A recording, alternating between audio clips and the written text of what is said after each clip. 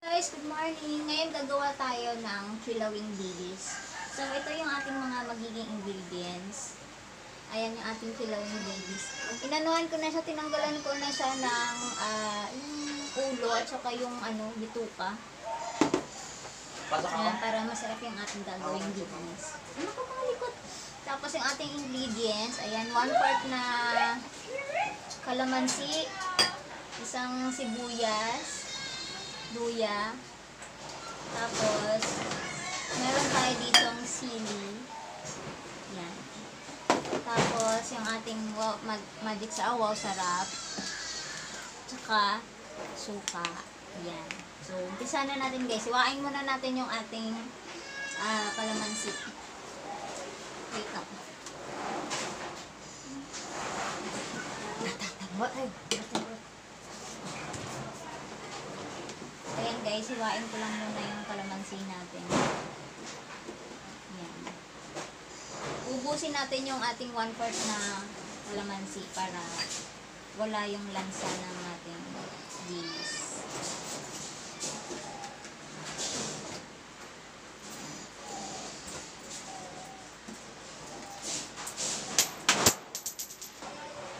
Okay, so ayan guys, nahiwa na natin yung ating kamati, ay ating ah, kalamansi and siya. So mamaya pipigain natin yan doon sa ating dilis. So, sunod na natin yung ating sibuyas.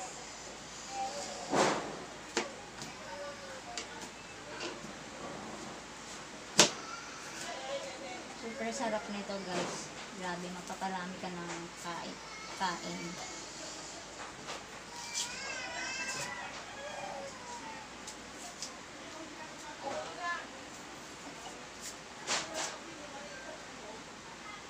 So, ayan.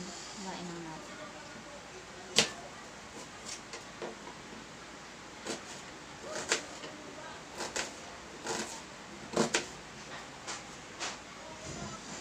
Okay, so ayan guys. Iba na yung ating sibuyas. Lagay na natin dito.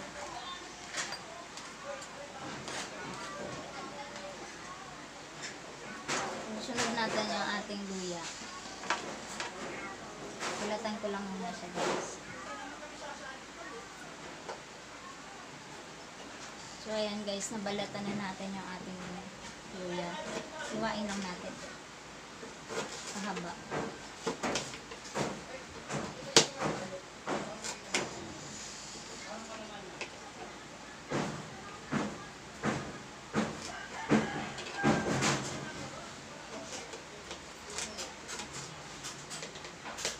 Yung iba guys, talagang inaano nila to yung maliliit na hiwa.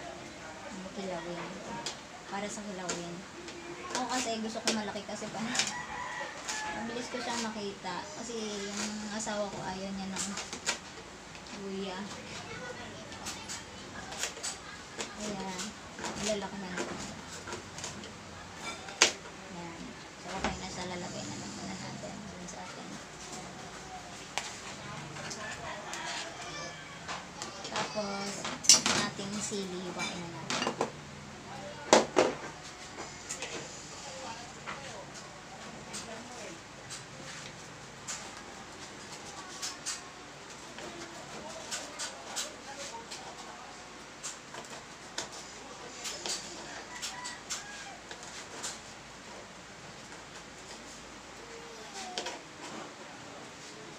Ayan, hiwa na yung ating sili. So, gawin natin ngayon guys. Ilagay na natin siya dito sa ating dilis. Malinis na tong ating dilis. Ayan. Ang gagawin ko, unahin ko itong paglagay ng sili. Ay, ng ano, kalamansi. Tigaan lang natin ng tigaan. So, itong ano natin, dilis natin, kalating kilo po siya.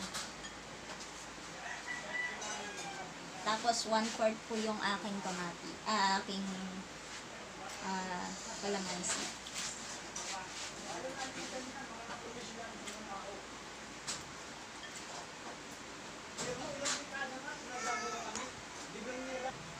So, ayan guys, nalagay na natin yung ating ah, kalamansi. Isunod naman natin yung ating luya. Ayan. Lagay natin. Ayan. Tapos, yung ating sibuyas. Ayan.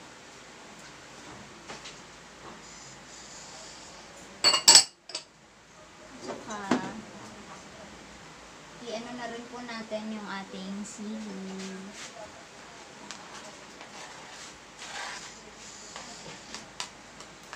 Lagyan na natin lahat. Tapos itimplahan na natin siya guys. Dito, Yung dito, salt babe. pala nakalimutan ko kaninang isama. Ito pala yung ano niya. So, lagyan natin yung salt.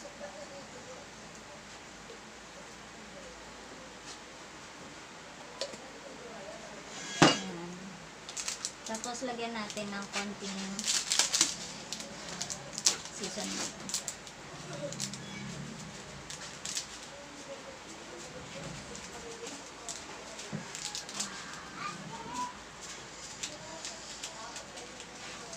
Ayan guys. Haluin natin konti. Uy, sarap niya. Sarap nito guys. Tapos, bang halo na natin siya. Lalagyan natin siya ng konting suka kahit may kalamansi na siya. Para medyo maluto lang yung ating dilis. Yan. So, ayan. Ready to serve na po ang ating kilawin dilis.